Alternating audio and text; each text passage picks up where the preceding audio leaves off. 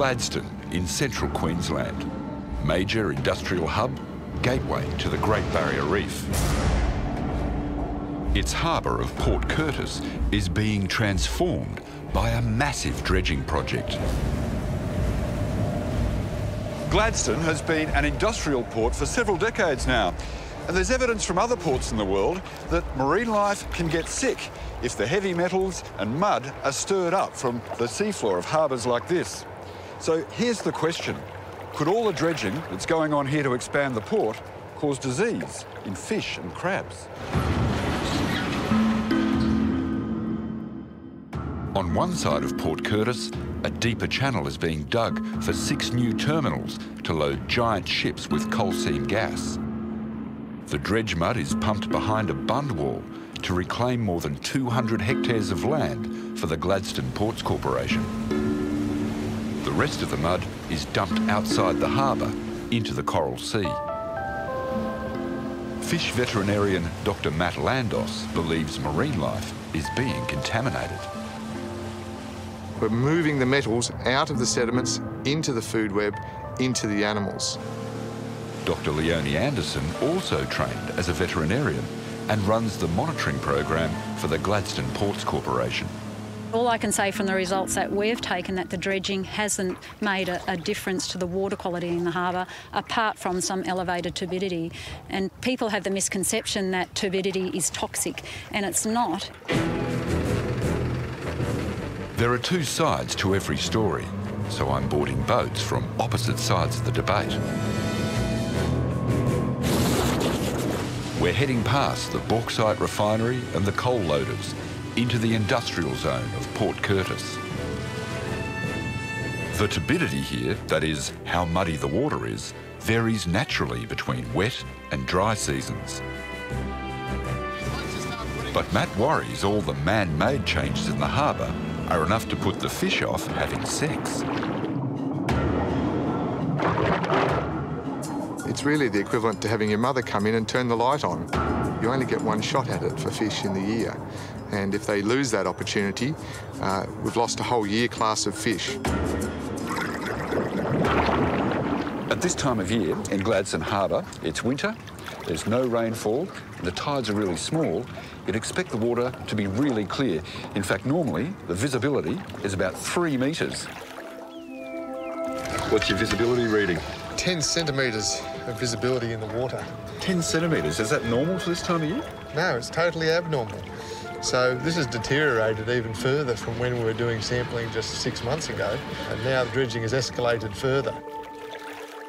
This sort of dredge is considered a quite a clean operation, so the material that it, it is dredging is actually being sucked up and taken um, to a reclamation area. Nevertheless, satellite images show plumes of turbidity extend as far as 35 kilometres from the main dredging site. The long plumes can't be explained only by natural forces like tides or river discharge. On her boat, Leonie's job is to make sure the water quality meets Australian environmental standards.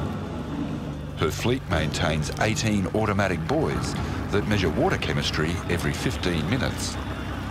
The breadth of parameters that we measure and the frequency of sampling and the extent of the sites that we cover is uh, bigger than any monitoring project that I've heard of in Australia. It is quite extensive.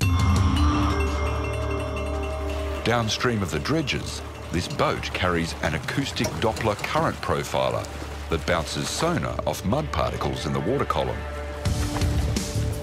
It sends a ping every so many minutes as they're motoring along at a slow pace.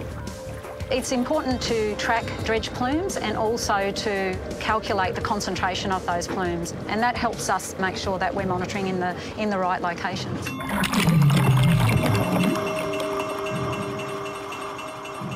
While the mud particles are visible, the metals they carry are harder to find. After the dredging started, Leonie's team began monthly sampling for the metals that get dissolved. They're the ones that are most important because they're the ones that are potentially bioavailable to the food chain.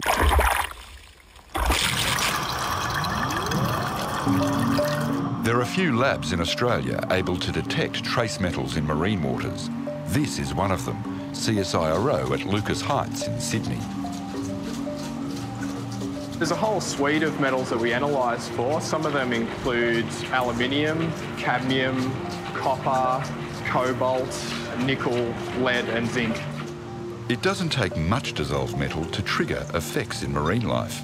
Measuring it needs sensitive techniques that can detect minute concentrations. Parts per trillion. Parts per trillion? Yeah, we need to be able to measure down to that kind of range to be able to, to measure the real concentrations in the environment. Since the dredging started in Port Curtis, CSIRO has sampled dissolved metals for three days and didn't find any contamination hotspots. However, they were able to compare their samples with what they collected nearly 10 years ago. We saw a slight increase in dissolved copper and zinc concentrations in the harbour compared to back then. We found sort of detectable concentrations of aluminium in most locations across the harbour, uh, which are above the environmental concern level that uh, applies in Australia. To know when metal levels become toxic, water quality standards set limits called trigger values. The fact is that the dissolved metals haven't gone above those triggers, and those triggers are set based on a lot of science. But not yet for aluminium. There's currently no water quality standard for aluminium in marine waters because the research is still being done. CSIRO is exposing algae to different levels of aluminium to discover how much is toxic. Are algae often neglected? They can be. They're not often seen, so it's important to look at them because they drive a lot of the processes that are going on with an ecosystem. It's crucial to have reliable toxicity data because when algae die from metal poisoning, the whole food chain suffers. Port Curtis is a beautiful estuary full of life. In fact, where I am right now is inside the Great Barrier Reef World Heritage Area. So you'd expect a place like this to support a productive fishery. Can you tell what's going on on the skin there? And it did, until a year ago, when fishermen reported sick fish with cloudy eyes, rashes, eroded fins and sores. Fisheries Queensland banned all fishing in the harbour for three weeks and launched an investigation. Four months after dredging commenced. Well, there's, there's an important thing in investigating an outbreak is you need to try and sample at the time of the outbreak. So Matt started his own independent research, funded by donations from the public and the seafood industry, working with fishermen to try and figure out what was happening. We had a look at the gills of the fish for damage to the gills. We then did a full necropsy on the animal, examining all of the internal organs. Matt took bacterial swabs and organ samples from a number of species. We identified skin disease in a whole range of fish. We also identified problems internally in the fish with parasites, what appears to be increased intensities of parasitic infection. Bob Appo has seen this before. Over the 36 years he's been a crab fisherman here, the harbour has been dredged three times. Every time it, it dredged, the fishing just went down. The prawns, the, the fish, the mud crabs, everything. I've gone from 150 kilos to about 50 kilos on a good day. And this is only just the start of it. There's another three years at least dredging to go on. He's helping Matt investigate a disease in mud crabs called rust spot that ulcerates their shells.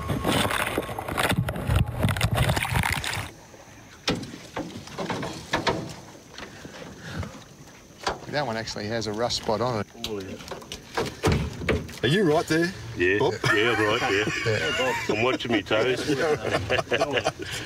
This little orange spot here is what is unique as a disease to the crabs in Gladstone Harbour. And that becomes a weak spot, and bacteria like to invade weak spots. When crabs get increased rates of exposure to metals like copper and zinc, their shell doesn't reform properly. Uh, and so after they've molted, they don't end up with a nice hard shell to protect themselves. They end up with these deformed shells. It progresses in many of the crabs to actually go right through the shell. This disease was first studied by Leonie back in 1998. I don't think the prevalence of disease has changed at all um, since I last investigated. I think that people are just more observant and now uh, seeing things that they might not have noticed before. So looking at the bigger picture, do metals have anything to do with the shell disease? I can't, uh, we didn't find conclusively that that was the case. Matt's theory is that the immune systems of harbour animals are being overwhelmed by multiple stresses like noise, turbidity and mixtures of heavy metals. In this case, we should be looking at first at the animals. They're telling the story. If they're sick, there's something wrong with their environment. Is it not conceivable that dredging could be one of the factors that are contributing to what people are seeing in the fish and crabs? I just don't see that when, by default, by maintaining the water quality within Australian standards, we are maintaining ecological health. You wouldn't include fish disease monitoring in a standard dredge project, and particularly when you know your water quality is of a high standard, you're sort of going, well, you know, is there, is there anything more we should do? Solving the mystery of the disease means following the trail of dissolved metals to see how much ends up in the animals of Port Curtis. Well, I think it's quite important to look at metal concentrations in fish tissues, and we've certainly recommended that as a follow-up to our study.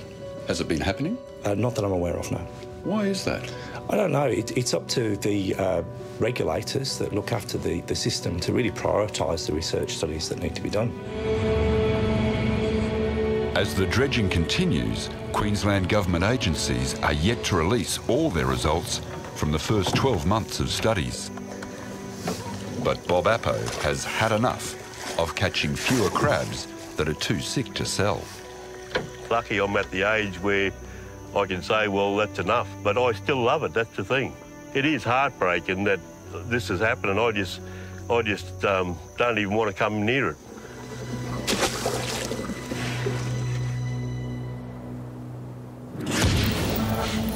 Next time on Catalyst, a perfect record of Australia's dinosaur past in danger of disappearing forever.